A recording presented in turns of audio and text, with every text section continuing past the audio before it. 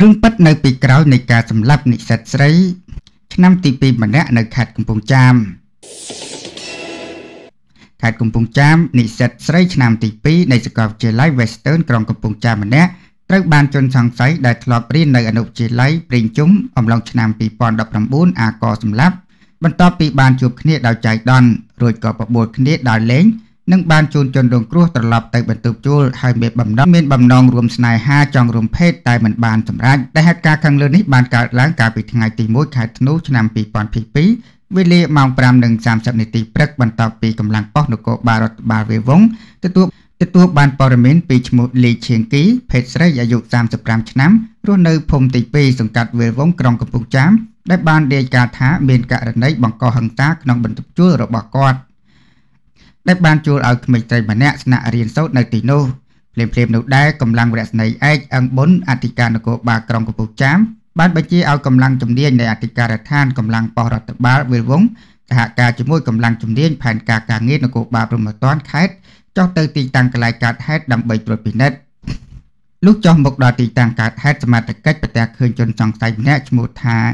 យឺមេងឈៀកភេប្រុសភេប្រុសអាយុអាយុ20ឆ្នាំដៃ ដៃកាន់កូនកំបិតនិងឃើញមានស្នាមឈាមប្រឡាក់លើការ៉ូហើយហើយក្នុងបន្ទប់ទឹកមានសពនារីម្នាក់ទើបសមត្ថកិច្ចចនមត់ថាជាករណីឃាតកម្មហើយបានខាត់ខ្លួនជនសង្ស័យខាងលើយកទៅសួរនាំក្រោយសមត្ថកិច្ចជំនាញសាកសួរជនសង្ស័យបានឆ្លើយសារភាពថារូបគេបច្ចុប្បន្នធ្វើសកម្មភាពអាកសម្រាប់ជនរងគ្រោះឈ្មោះថាវៀតចន្ទ្រាភេទស្រីអាយុ20ឆ្នាំនិស្សិតឆ្នាំទី2រៀននៅសាកលវិទ្យាល័យ Western ក្រុងកំពង់ចាមនិងមានទីលំនៅ និងមានទីលំនៅនៅភូមិក្តីឃុំស្ដើងស្រុកជើងព្រៃខេត្តកំពង់ចាមដោយយកកំបិតចិត្តបន្លែទៅអាកសម្រាប់ជនរងគ្រោះបណ្ដាលឲ្យស្លាប់នៅក្នុងបន្ទប់ជួលពិតប្រាកដមែនជនសង្ស័យបានបន្តឲ្យដឹងទៀតថាមូលហេតុឈានដល់ការសម្លាប់នេះគឺកន្លងមកជនសង្ស័យនិងជនរងគ្រោះធ្លាប់ស្គាល់រាប់អានគ្នាកាលពីរៀននៅអនុវិទ្យាល័យព្រេងជុំនាអំឡុងឆ្នាំ2019រហូតមករហូតដល់ថ្ងៃកើតហេតុក៏ជិះម៉ូតូជួបគ្នាដោយចៃដន្យ រួចក៏បបួលគ្នាដើរលេងនិងបានជូនជនរងគ្រោះទៅបន្ទប់ដេកវិញ